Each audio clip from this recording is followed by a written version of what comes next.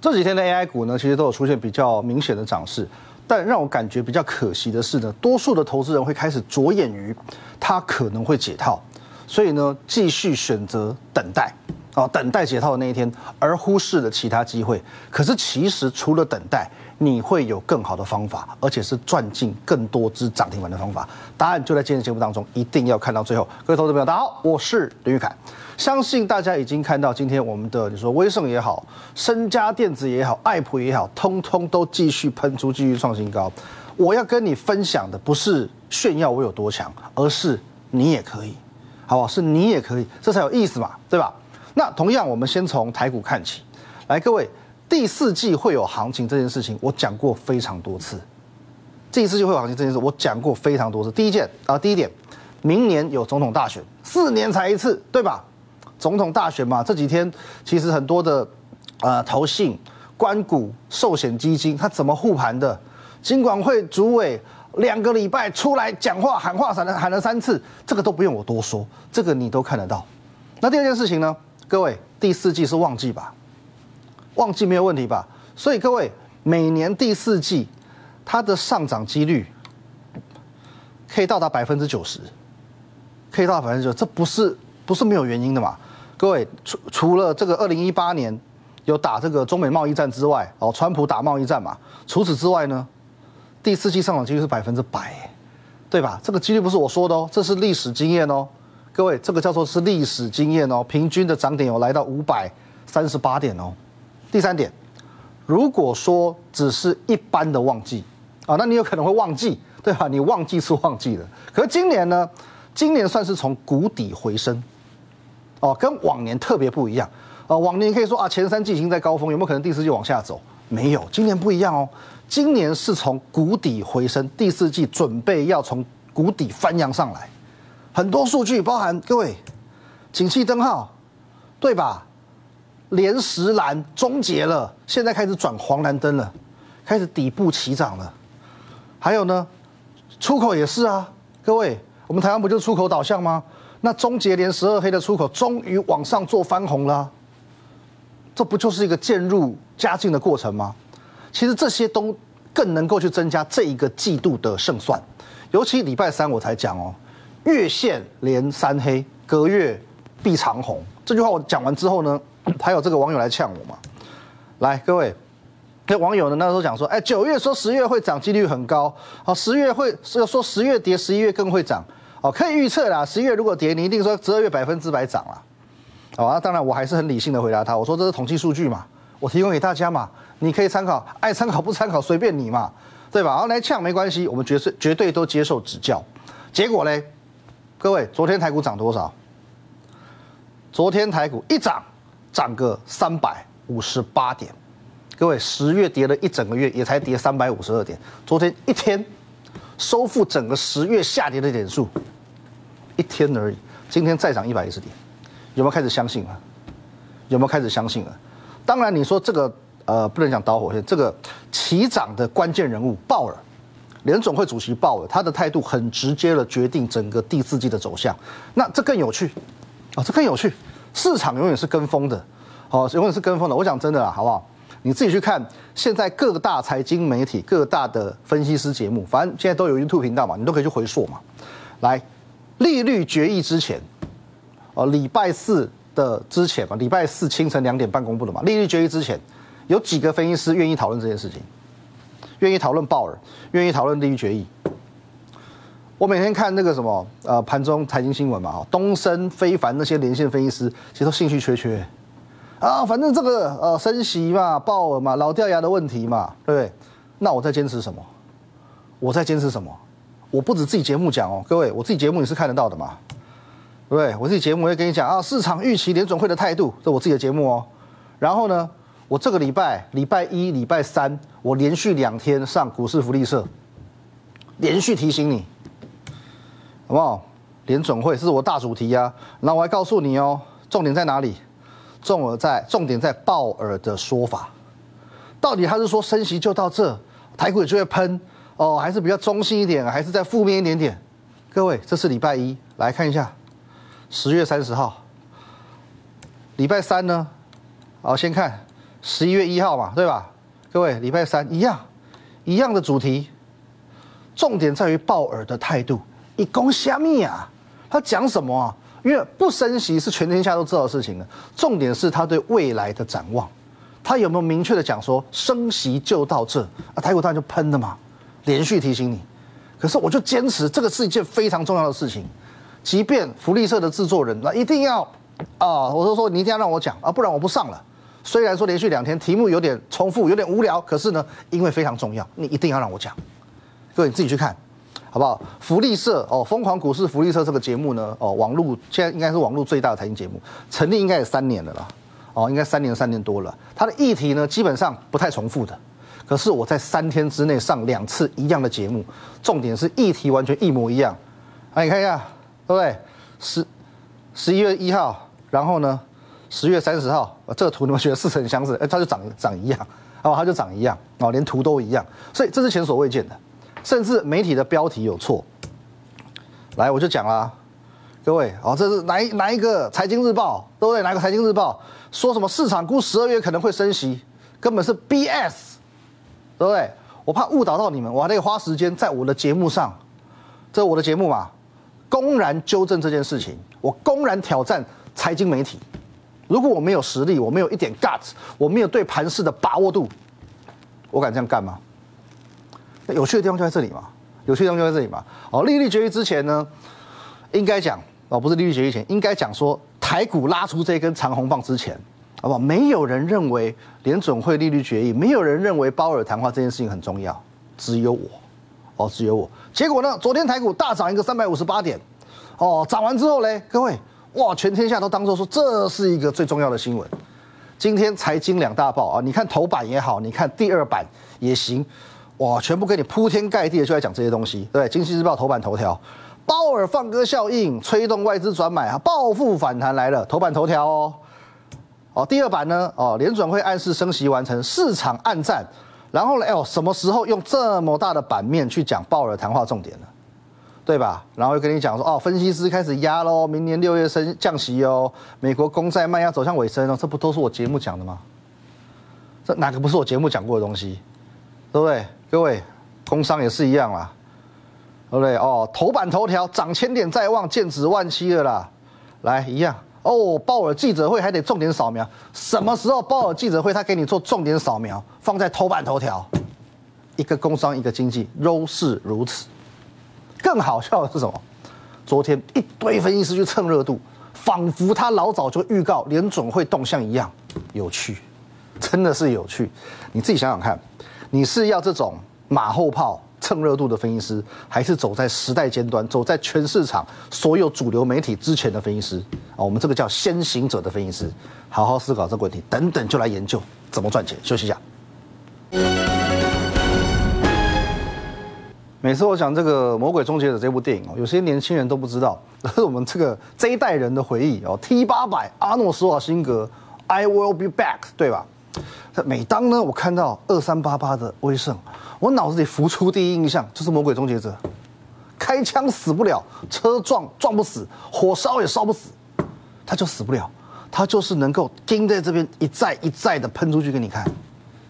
今天各位，威盛是亮灯涨停，而且是锁到收盘的，它上攻速度很快哦。各位你看一下哦，有没有早盘震荡一下呢？第二波锁上去，哦，十一点以前锁上去之后呢，就锁到底了。好，我们稍微再放大一下。有没有早盘可以震荡一下？可是呢，十一点之前就锁到底了，没错吧？就一价到底了。好，这微胜的部分哦。好，那为什么知道速度这么快呢？哦，因为早上呢，我我在发恭贺简讯都有 有有点这个不知所措。早上九点四十一分，哦，当时已经冲很快了，七趴多了。我说恭贺微胜继续大涨，再飙近八趴。这一次只要量价不失控，非常有机会创新高，直接走出全新格局。说时迟那时快，各位。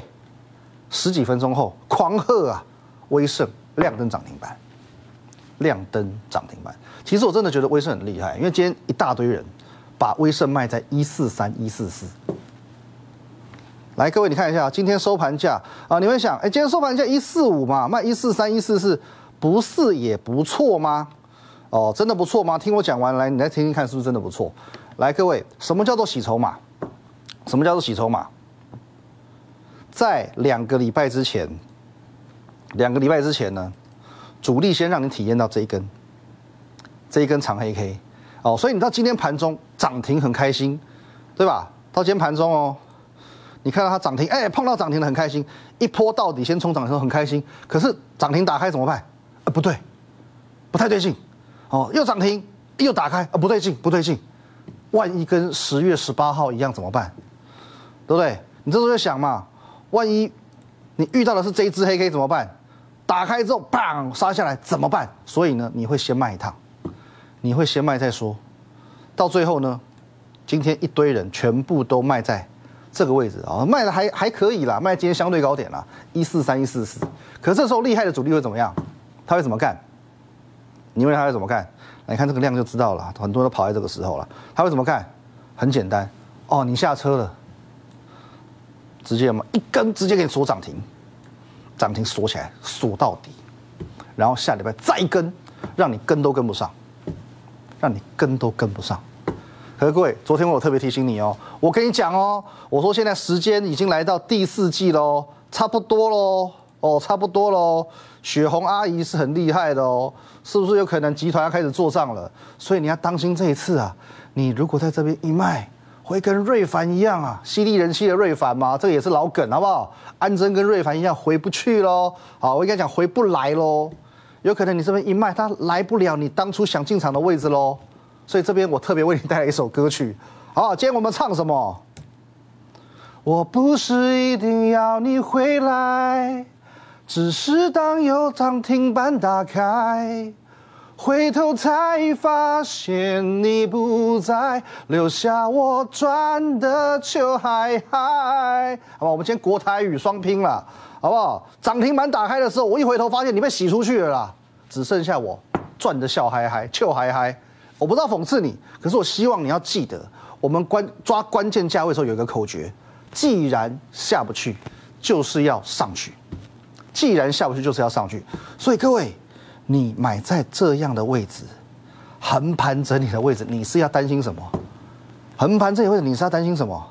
它就在这边整理而已啊，创高拉回，也就是回到整理区间而已啊。哪怕它真的跌破了，你直接砍掉，损失也非常有限啊。所以这是我一直以来所讲的，你能不能看得懂盘势？兵无常势，水无常形嘛。你要因敌之变化而取胜，对不对？不同时机、不同行情，我会有不同做法。不同时机、不同行情，我会有不同的做法。十月下旬开始，台股是震荡行情，我就不会叫你去追高。所以我一直强调，你要买在最安全的位置，你要买在最关键的价位，你才能够做到进可攻、退可守。不就是如此吗？来，各位，像利旺啊，利旺的话，其实大趋势你可以看我昨天的节目，我们是用周线的角度来看。我告诉你，行情还没结束，可是老早在更更早先之前。那一个月前、两个月前，我有没有教过你利旺买点怎么抓？就是这样抓嘛，有没有？十月初就教你了，好不好？画一条线，不就这样抓？不就这样抓？来，各位，你现在看看，又过了一个月过去，这条线有变吗？这条线有变吗？怎么这么凑巧？怎么这么凑巧？点到关键价位之后，马上弹上去，下不去了啦，马上弹上来。各位，你看一下哦，这短短两天，点到弹上来，短短两天也可以涨快两百块啊，涨快两百块啊，不是也是一只涨停板吗？所以我一直在强调，Lie 跟我们的 YouTube 频道你一定要加入，Lie 在这个地方 at win 一六八八八，我的 YouTube 频道你直接去搜寻我的名字林玉凯分析师。Line 跟 YouTube 一定要加入。我们节目不不叫做什么炫耀型的节目，哎，每天涨停涨停创新高，没有。我跟你讲，我们是教学型节目，我是教你抓买点，我要教你赚涨停，这才叫有含金量的节目嘛。来，再看一档，身家，记者喷对吧？是不是也大涨创新高，挑战五百块了嘛，对吧？天天创新高啊，昨天也是啊，昨天涨停创新高，今天继续创新高啊。来，各位，以下来我讲几个日期。欢迎你加入我的频道，这个林玉凯分析师之后，你去回顾，你去一天天看我节目，来日期记起来。十月十六号，我说身家电子回测颈线和四百元整数关卡，你的机会来了。在隔天十月十七号，我说身家电子回测关键价位和整数关卡四百块，这是可遇不可求。十月十八号，我说身家电子打底打了一年，起涨之后呢，哦，一百多块，第一个涨上来挑战四百块，可是上半年挑战三次失败，九月挑战三次也失败，十月成功了，所以到十月十八号，哦，我我们讲这句话，讲这个论点的当天，它撑了四天都没有跌破，这个叫做测试的痕迹，支撑它成立了，四百块支撑成立了。十月十九号，哦，第四天喽，我再次重申，身家电子的操作就叫做防御型手法。进可攻，退可守。哦，快一千块跌到一百八十六块，反弹第一个压力区就是四百，因为四百是什么？来这边再带你看一次，为什么第一个反弹压力区在四百块？你看一八六弹上来，弹到这边四百涨不上去嘛？为什么？因为四百块是二零二零年这个地方的三月份的最低点，疫情杀盘的最低点，所以当九九八再往下杀的这一段。到去年三月，它又杀到四百多的时候，你会发现它这边会停滞一下，有没有？在这个位置它会停滞一下，市场会根据它的过去判断，这对身家电子可能有止跌效果，可能呐，maybe 啦。来，可是当四百块守不住之后呢？当这位置守不住之后呢？哦，那就兵败如山倒嘛，腰斩再腰斩嘛，就一八六了。四百守不住就一八六了。可是当这边整理的时间够长哦，这边好几个月了，十几个月了啦。再加上今年的三四月，有没有看到？今年的三四月其实呢，量能是有出来的。三四月的成交量已经足以将这些成年的套牢卖压通通消化完毕。原本被视视为关键压力的四百块突破之后，就会变变成关键支撑。十九号我就是这样讲的。以上我所讲，十六号、十七号、十八号、十九号，十月十六到十月十九这四天，欢迎你验证。哪哪个部分我在那边加油添醋，我这边无中生有的，你来检举我，我节目即刻解散。我用了整整四天解析同一档股票，更明确的讲，我是在要教学关键价位的原理这件事情。我用了四天教你什么叫做关键价位的原理。当你掌握关键价位，其实很简单，你会发现，你一旦掌握这件事情，你掌握了获利密码，掌握关键价位，你就掌握了获利密码了，不是吗？获利密码不就是这样吗？来，今天十一点四十四分，月线早买点喷出新高度。今天身家电子继续大涨创新高，四百出头买，不就是四百出头买吗？现在已经直逼五百块，获利超过两只涨停板。掌握关键价位，不就掌握了获利密码吗？那即便我们有时候节目时间有限，我没有办法每档股票都教你，可是只要你加入我的我的这个 YouTube 频道林玉凯分析师，你有时候在我下方留言板询问，来，就像十月二十五号有人问说。哎呀，联发科是不是算低位接？各位，我告诉你啊，明确支撑八百块，言简意赅吧，言简意赅吧。来，各位，创高拉回八百守住，八百守住喷，一只涨停板就这样赚。来，昨天的讯息来不及放嘛？昨天的十二点钟，八百就是铁支撑，八百买创新高，两波进场获利两成，不就这么回事吗？来，还有什么？爱普，爱普是十月二十七号有人来问的，请问凯哥，爱普会继续跌吗？我说自看自线止跌啦，看季线止跌啦。昨天我说的，好好不好？我们底线是捍卫会员权益，所以买点卖点我不能明讲，我不能教你几块钱买几块钱卖，好不好？就跟联发科一样，可是我可以暗示你，我暗示你看你慧根够不够，看你慧根够不够，季线，季线，哦，看你慧根够不够高。然后呢，买卖点的掌握度够不够敏锐啊？如果你在我团队之内呢，那当然恭喜你。今天中午十二点零七分，掌握关键价位就是掌握获利密码。季线见买点，达到季线，果然马上弹。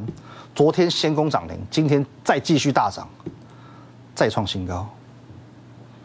好，那股王间 AI 领头羊，四星啊，今天一样也是续创啊，这个算破烂新高。啊，小小的创高，可是我昨天讲过，不是每档 AI 股都好。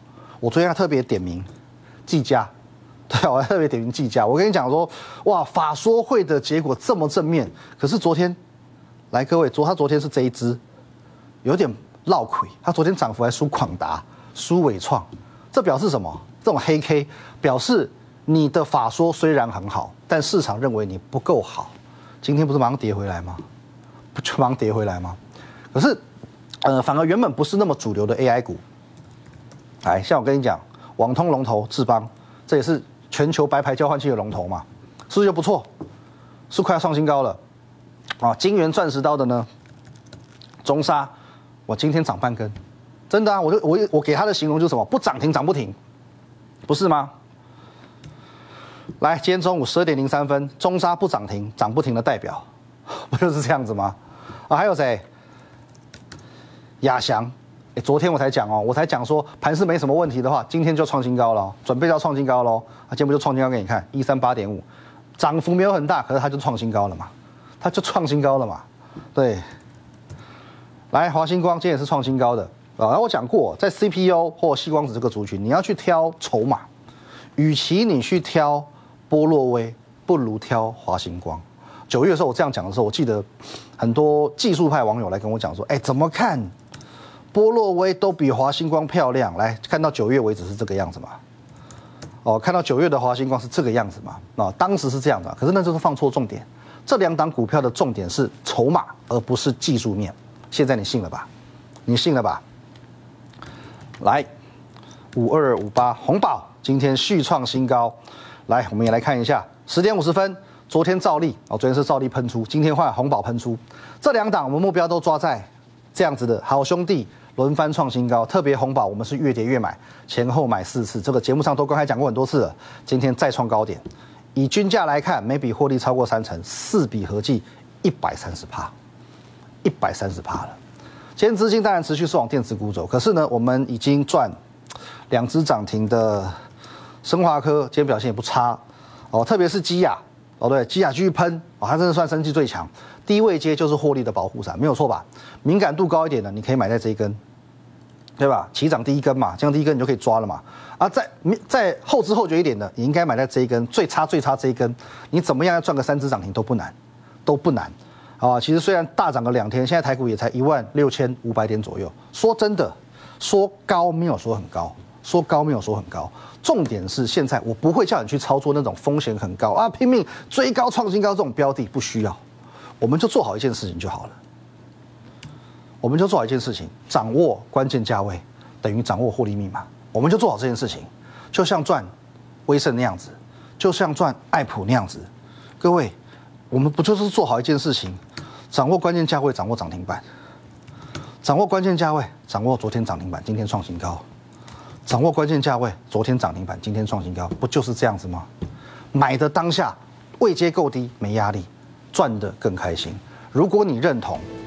这件事情不要只是看，好不好？看我三百次，你不如跟我赚一次，不如跟我赚一次，好不好？下个礼拜直接跟着我进场，你可以透过等一下广告专线零八零零直接拨打电话进来，或者先加入我的 line at win 一六八八八小老鼠 w n 一六八八八，加入之后任何问题、入会问题、相关问题，我都欢迎做询问。询问完毕之后，看我三百次，下个礼拜直接跟我赚一次，我们下周见，拜拜。本公司与分析师所推荐分析之个别有价证券无不当之财务利益关系。本节目资料仅供参考，投资人应独立判断、审慎评估，并自负投资风险。